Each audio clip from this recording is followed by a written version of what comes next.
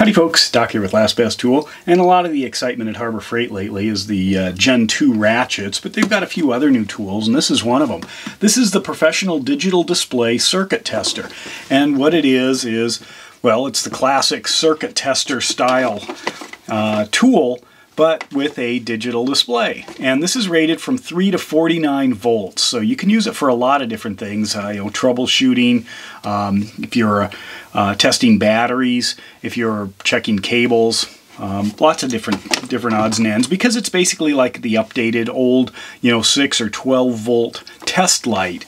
Now it has a 12 foot cable here. Pull this out of this blow molded case here it's got a 12 foot cable. Um, I think it's about mm, eight feet of usable before this thing turns into a slingshot or a bowstring. So be a little careful, especially because they really cheapened out on this, this clip. In fact, I'm going to pull this off and put a much better one on it'll be an easy thing to do. A nice copper one maybe, something with a little bit of grip because this just slides right off of stuff. Add a little bit of this coil and suddenly watch out. But anyway, what do we have here? Well, you've got a digital display, not a single button or switch on the whole thing, and a set of probes. Now you can get things like this maybe with uh, one basic probe. Um, there are a handful of them on Amazon. They start at about $30. I think Lisle's got one. It might be around 40 bucks. And then they go up. This set here with these probes sells uh, maximum Harbor Freight price at about $80, 79 and change. Now Snap-on also makes a set um, with two probes um, and actually three probes and an adapter and that set sells for about $100 more than this, pushing 180 bucks, which is outrageous. And I have talked to my Snap-on uh, rep about those, and he said he doesn't even carry them. Nobody's really that interested in it because it, you know, you can use a multimeter for a lot of this stuff, or um, there are other, like a power probe or something else if you're going to start throwing bucks at old school technology.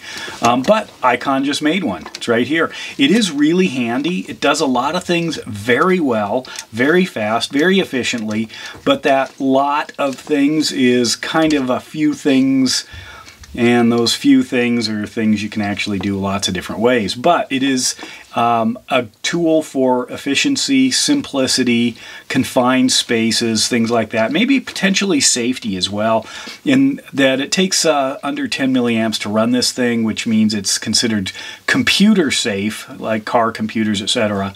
Um, it's not going to do anything funny with the electronics, but they do warn you stay away from airbags. Um, anyway, the different probes, well, it has this, this shorter one. This is 2.7 inch, kind of a piercing probe. It's not the piercing probe. There is one of those, but it, you can pierce a wire with it. Very sharp. Um, it has a longer one uh, here that's about six inches. Same thing, comes with plastic covers. Uh, it's got um, a, basically an adapter, universal adapter for different things that might not be here. You've got an alligator clip. This is the piercing probe. plug it in. When you turn this, uh, you can see that a, a uh, little sharp right about there. You'll see it pop up. There's a little piercer. Um, one of the maddening things I found out about this case, I think the case is a great idea, and it is well thought out. Uh, in fact, you can pull these hinges off. They've got these big rubberized handles. If you pop these off, you can put it in your toolbox um, without the lid, but the lid is so thin, I don't know why you do that, which leads to the maddening thing, and that is you can't uh, with probably this probe here, which is I assume the default most used one, this or the longer one, you can't actually put the probe back in its case um, with this on without it hitting up against the end there and you certainly can't do it easily with this on and I would recommend closing it up keeping taking better care of it but oh well. They could have just moved this or something and, and had you at least be able to keep this probe on. I guess you could probably keep this on, that's not the point. Anyway, let's take a look at the operation. Um, oddly, using a 9 volt battery seems to be kind of the universal way of showing these things, so much so that if you go to Snap-on's website and look up this same kind of tool, you can also see, if you go to the Harbor Freight link, which I've got below. Um, they compare it to the Snap-on. That's where you'll get the number. You can Google that. Um, but Snap-on shows this. There's basically doing this exact same thing as you can see here. Um, hopefully I've got about 8.1, 8.3 volts.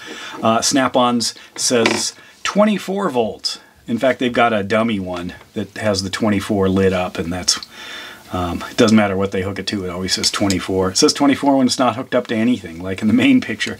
Just something kind of interesting snap-on. When you farm this stuff out to a marketing company, uh, people in the know spot things. But anyway, what do we have? Uh, we have got the ability to test between 3 and 49 volts. Some of these only go to 48 volts, so there's that. Um, I thought I'd do a little quick test here. I've got two um, 1.5 volt C batteries. So if I connect this uh, to one battery, what do I get? I get nothing. That's not surprising because that's only one and a half volts. If I connect it to two batteries, what do I get? Got to connect it up here.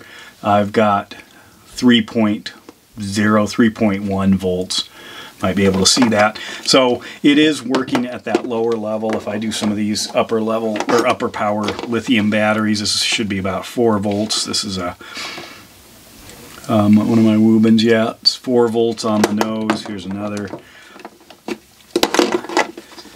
Uh, it would be nice. This is something else I thought of. Uh, let me do this and then I'll, I'll get to that. losing my train of thought here. But anyway, there it is. You can see another four what I was going to say is I, I, wish there was a way I could easily attach a probe to the clip side. So especially if I wanted to do this, which I do want to do this quite often, is have two of these probes. So let's say I wanted to try to dig into this Milwaukee battery, which is um, not working very well, and I wanted to test things out, I would probably need to try and figure out uh, if this is this is uh, working. And the problem with uh, doing this um, is I need two probes and I'm not getting anything. That's kind of what I mean. I don't know, is it my connection here? Is it the, you know, what's up? I should be able to get a reading. I can use my 9 volt to kind of troubleshoot it. Okay, I am getting a reading here. So what's going on? Why am I not getting anything? That's that's kind of what I'm getting at. I can do it also. Here's a camera battery. Sometimes these things get old or you're kind of wondering what's going on. And that again is where I'd love to have this nice two, um, which one is this? I may have, this might be the dead battery. Yeah, something's not going, going right with this battery. So, um, anyway, there it is, the Icon Professional Digital Display Circuit Tester. The part number on this is the 70624, also known as the TPSK. Simple little tool. Uh, if you need something like this, it seems to work, seems to be accurate. Um, but if you've got a multimeter, you know, kind of does the same thing. This is basically like uh, a wire in a circuit. That's what that's all this is. Whereas a multimeter generally it hangs out first of all in the middle of the the set of wires, um, whereas this is kind of the business end. So if you can hook this up to something, a battery, a piece of the car, whatever it is, um, and then be able to touch very accurately exactly where you want this thing. Um, then that's where this shines compared to a multimeter. But of course a multimeter does an awful lot more things. This is strictly voltage. Well, one other thing mention, it does have polarity. So if I reverse the polarity, uh, there's a green light that lights up down here. Red if it's correct, green if it's not, and you'll also notice there's there's basically a plus and a minus right there. So right here we've got plus, or we've got minus 8. If I reverse these, oh, let me show you the green. Down here, you know, by my thumb is there's the little green light. And then if I reverse it correctly, now you've got plus, and then that green light's gone and there's a little red light down in there. So that's what it is. If you're interested in something like this, well now Icon sells one. One year warranty is all. So, you know, don't get your hopes up of having a lifetime product here. Um, I'm also, uh, I may try to see if I can interchange some parts with one of the snap-on ones. I have a lead on a on an old school or an older broken one and I may may try to play around with that. But anyway, let me know your thoughts on that or if you've got another use where this this kind of a tool is essential. Uh, that'd be good to know and share with us. So with that, Doc out.